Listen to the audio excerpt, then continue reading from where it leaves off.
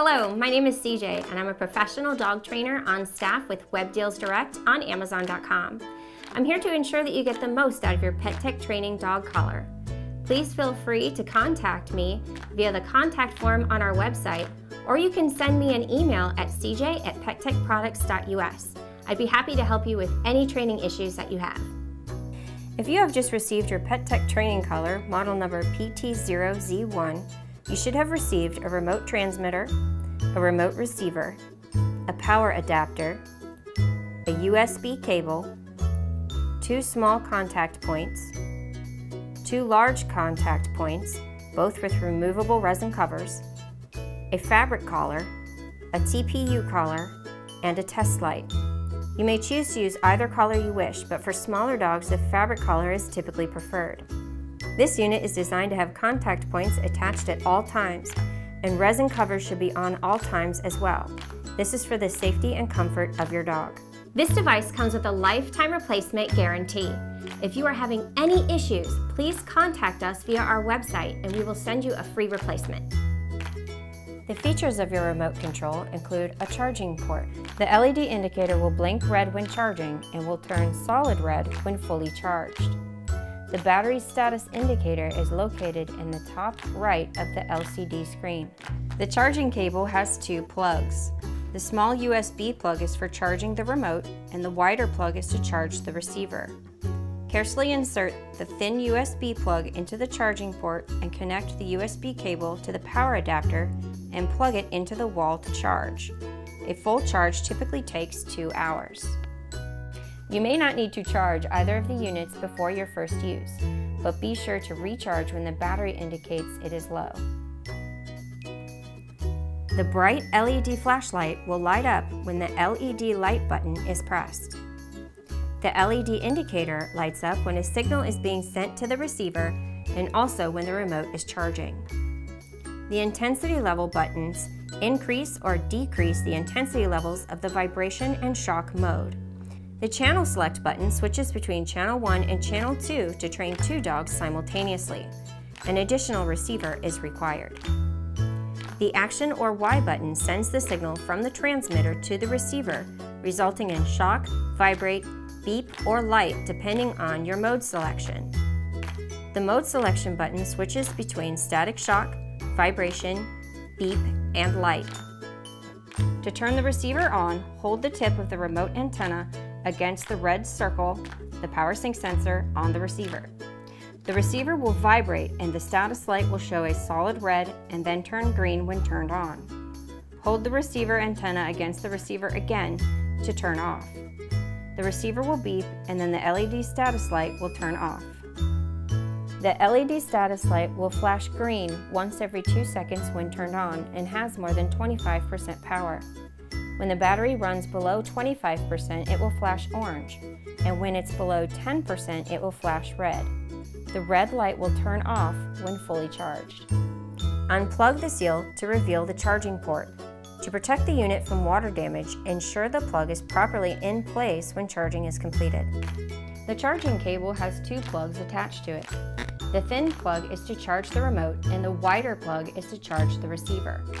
Insert the wide plug into the charging port, connect the USB cable to the charging adapter, and plug into the wall to charge. The receiver should last several weeks on a single charge depending on usage. A full charge typically takes two hours. All models ship to customers already paired straight from the factory. As soon as you turn on your new training collar, test to see if it is working as you should not need to take these steps. To pair your devices, ensure that the receiver is turned off. To turn it off, hold the antenna to the power sync sensor until it beeps and turns off. The remote should be on. Turn it on by holding down the mode button. Hold the antenna to the power sync sensor until the green light starts flashing. Pull the antenna away and hit the action button. Your devices are now paired. If you accidentally switch channels, your receiver will not work. Simply switch the channel back.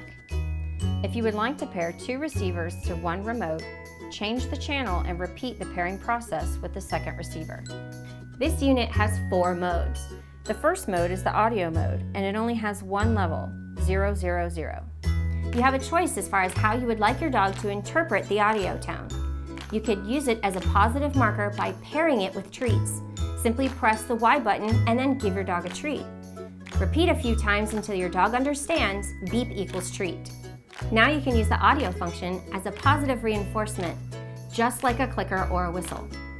Do not use the audio function for any other purpose. The audio function will simply tell your dog that they have done the correct thing. Alternatively, if you do not want to use the audio function as a positive reinforcer, you can use it as a deterrent of unwanted behavior by simply getting your dog's attention away from what it wasn't supposed to be doing. Alternatively, you could pair it with a come command and use it as a recall.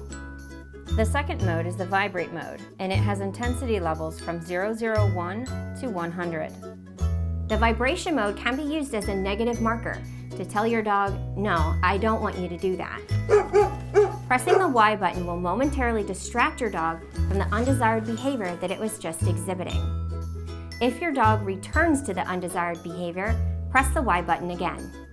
If the dog stops doing the behavior and you have paired the audio mode to a positive marker, switch to the audio mode to tell the dog, yes, I wanted you to stop doing that. If the dog does not stop the behavior, you may have to use the vibration again or increase the intensity level. Remember to press the Y button as soon as possible after the behavior occurs. If the behavior has already stopped, it is too late to correct it. You will have to wait until the dog exhibits the behavior again. You have to catch them in the act. The third mode is the static shock mode. This mode has intensity levels from 001 to 100.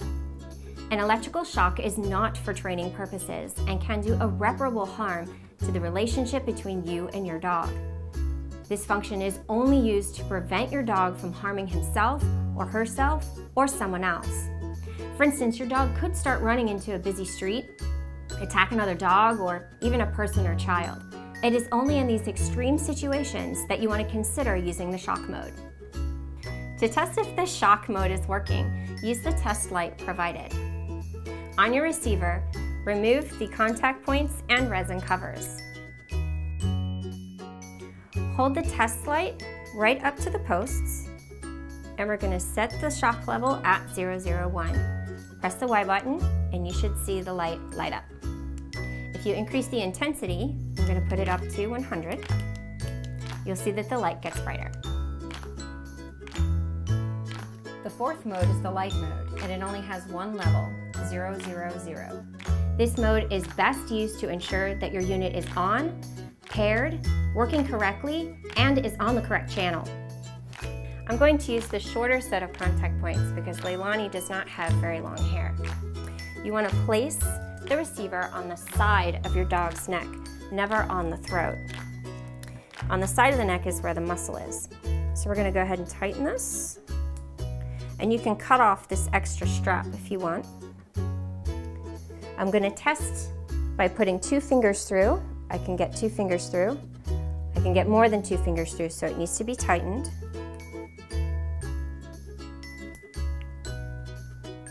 You don't want this to slide around.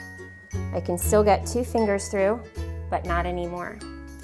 Now you can use your fingers to kind of comb the hair out of the way so that the extenders are actually touching the dog's skin.